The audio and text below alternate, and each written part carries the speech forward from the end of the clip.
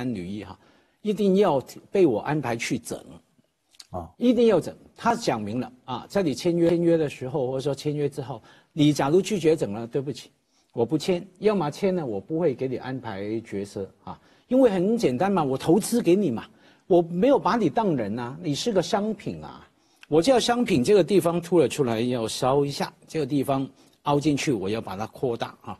他说讲明的，不然你不需不。